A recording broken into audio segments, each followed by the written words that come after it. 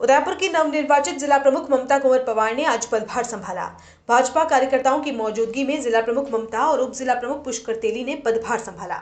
सांसद अर्जुन लाल मीणा, विधायक फूल सिंह मीणा, भाजपा देहात जिलाध्यक्ष भंवर सिंह पवार सहित भाजपा कार्यकर्ताओं ने ममता को शुभकामनाएँ दी। आपको बता दें कि 23 वर्षीय ममता कुंवर को उदयपुर का जिला प्रमुख बनाया गया है, जो प्रदेश में सबसे कम उम्र की जिला प्रमुख हैं। इस दौरान ममता कुंवर ने कहा कि सभी जिला परिषद सदस्यों को साथ लेकर प्रत्येक इलाके का विकास करवाएँगे। ममता ने कहा कि पेयजल, बालिका शिक्षा और सड़कों के सुदृढ़ीकरण को लेकर बेहतर कार्य की कोशिश होगी।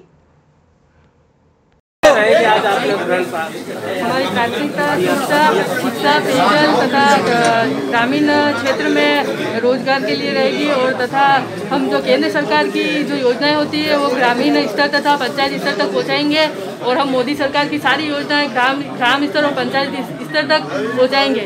और सब, सभी पंचायतों में हम अपना पूरा काम काम देंगे तथा सभी पार्टी के सभी वरिष्ठ वरिष्ठ पदाधिकारी एवं हमारे सभी जिला परिषद सदस्यों को साथ में लेकर चलेंगे और पार्टी और संगठन को साथ में लेकर चलेंगे।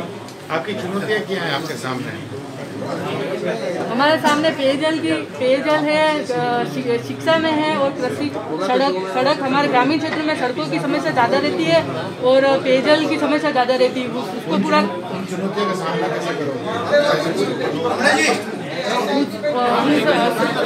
अधि- अधिकारियों के साथ मिल बैठ कर विचार विमर्श करके और हमारे सभी सदस्यों, हमें, हमारे सभी तैयारी सदस्यों के साथ मिल बैठ कर विचार विमर्श करके हम उस समस्या का समाधान करेंगे।